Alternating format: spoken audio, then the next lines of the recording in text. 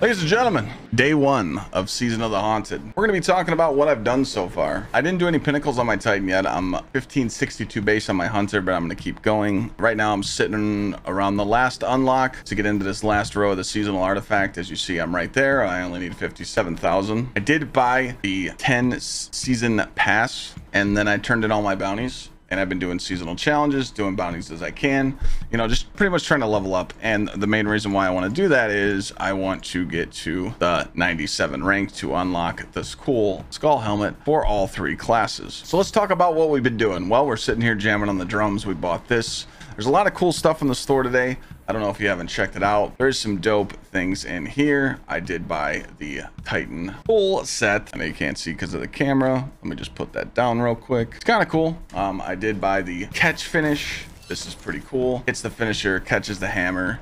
That's dope too. If you want, you can just go into seasonal right here and you can buy this emote for charity, which I did. Um, so yeah, I bought that, I bought that, I bought that. What else did I buy? Oh, I bought the ship. There's some cool ornaments in here if you want to check them out, but I did buy all oh, right here.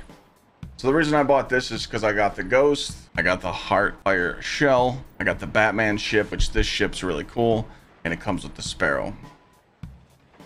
So we're going to talk about some artifact mods. Obviously, we have the sidearm, anti-barrier, overload rounds on the auto rifle, some machine guns, unstopped scouts, unstopped glaive, anti-barrier pulse, shotgun holster, trace rifle ammo finder, nightmarish opulence, pulse rifle targeting, sidearm holster, sidearm dexterity, armor of the dying star. It pretty much gives you solar and void damage resist, uh, unquenchable thirst, trace rifle reserve, shotgun dexterity, overload trace rifles, uh, rev uh, revitalizing blast. And I want to mess with this some more. Withering heat. This is juicy for champs. Then you have your overload solar nades, your glaive of dreams, and I haven't got to this last row yet. But if it, activating your solar class abilities grants you restoration, which is huge. Picking up an orb of power makes you radiant. All radiant solar precision final blows cause combatants to ignite. Solar exotic final blows create solar elemental wells, so this could be paired good with a solar um, exotic. And then you got your ignitions to increase damage and increased radius. Again, more testing needs to be done. Again, that's why I'm using my Heart of Inmost Light build to spam my abilities every 9 seconds, 8 seconds. If you guys want to know how to get this artifact, you just do the first mission and then you go to the helm.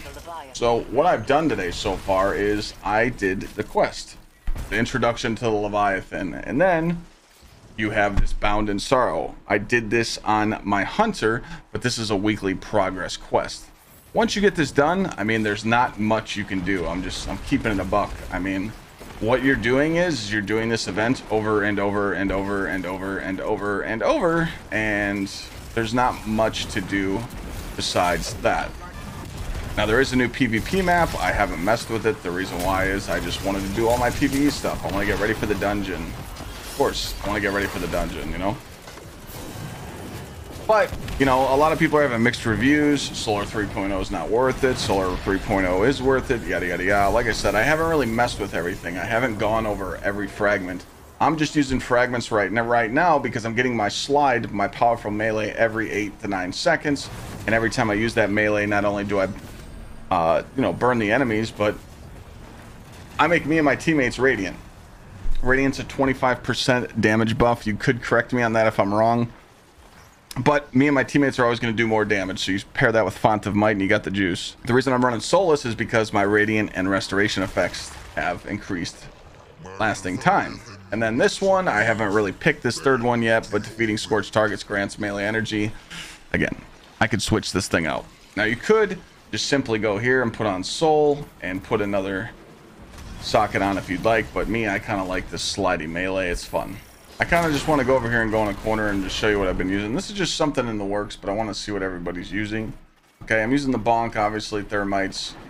Uh, constant creation. Now, obviously, we could use the soul for sunspots, but I'm having fun with that. Roaring flames. Uh, Ember of Searing is going to get swapped out, but it does give me melee energy. Uh, the Ember of Solace is huge because it gives me longer radiant when I activate it. And every time I do the slide, I become a radiant as well. So that's what I've been using. I've been pairing it with a high um, discipline build, Heart of Inmost Light. And the reason why Heart of Inmost Light is huge is because I can just hit this, throw the nade, then the melee's juiced, and it's always recharging my abilities as you see they are now. Now, the reason why I'm running Sunshot is I'm just trying to mess around with stuff, but this stuff in this final row, you can use exotic weapons and get juiced. Solar exotic final blows create solar elemental wells. So this could be good. So I'm kind of just trying to mix in a build with Sunshot or Tarrabah. Tarrabah's really good. Um, but I'm using bait and switch and deliverance enhanced demolitionist. So when I'm sitting here and I'm for some reason I don't have a nade, this gun is going to help me. So no matter what, I'm cycling through my weapons nonstop, cycling through my abilities, and just trying to pretty much have fun with it. Now, when someone does use like Div or something, I mean, I am going to do insane amounts of damage just because I'm always charged up. I have Font of Might on. I'm going to go over those mods. So currently what I'm running is Elemental Ordnance for Wells, Melee Wellmaker when I slide.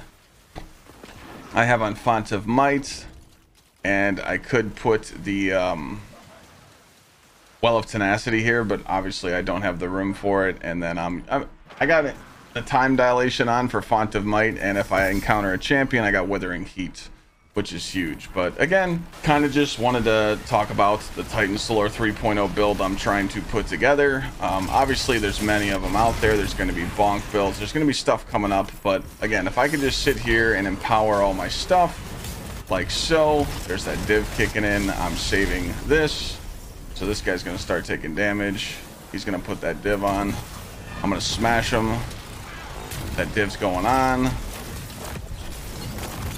Bait and switch is activated. Div's a little tough right now. But again, you know. Now look though, so since I wasn't spamming my abilities, I didn't get my hammer back, which I could have though, but like, you know, that was a bad, a really bad demonstration, but you kind of get what I'm saying. Like, I'm always empowered, I'm always doing something, and What's nice is, is that I'm always making orbs, and I'm always making wells, always boosted. You're always doing something. Now again, this is, to me, this is a glass cannon build. I don't care what anybody says, this is a glass cannon build, but it's fun. You know, I knew bait and switch was going to be huge this season because of solar, and I knew that this enhanced demolitionist with chill clip would come in handy. So, you know, I, I, I think that this build could get pretty far. As you see right now, no one's running, no one's buffing. No one's buffing Radiant. So here's where I come in. Juice, Magooser.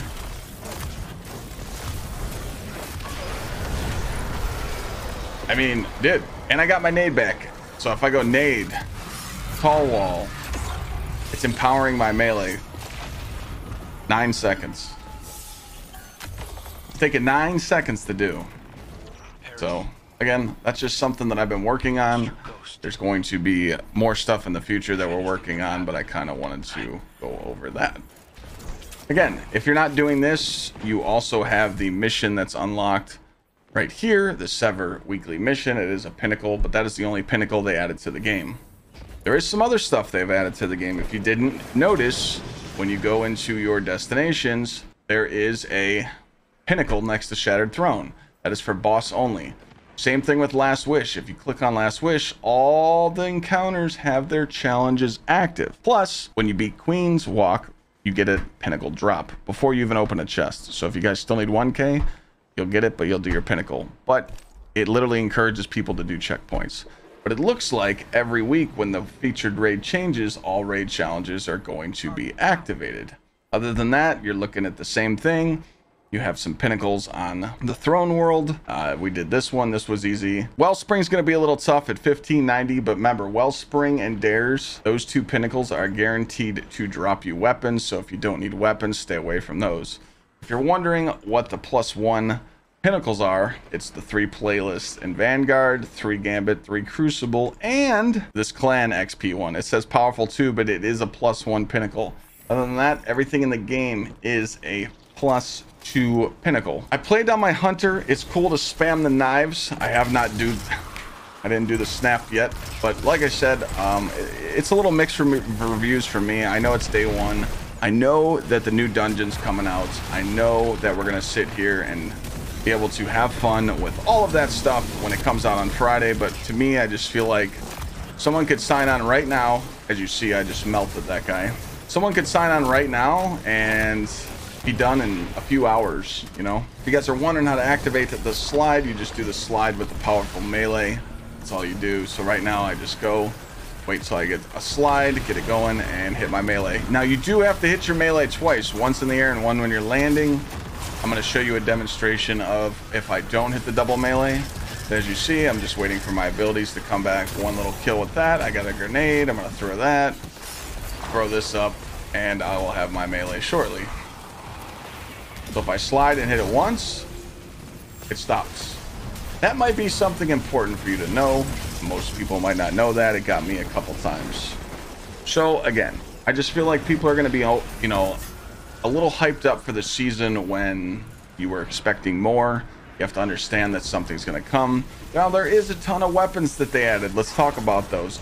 Austringer and, and, and Beloved and all those weapons that they've added that you're looking at your collections. You're looking at all those, all those new cool weapons. But I literally have a Beloved sitting in my vault. You just have to remember that. And if you haven't taken down this, this dungeon, you, you guys want to talk about this? That's the dungeon helmet. This is the dungeon gauntlets. They literally say Hakke on them. Hakke, whatever you want to pronounce it. Like what the hell? This is not a dungeon set. This is literally a reskin. I don't care what anybody says.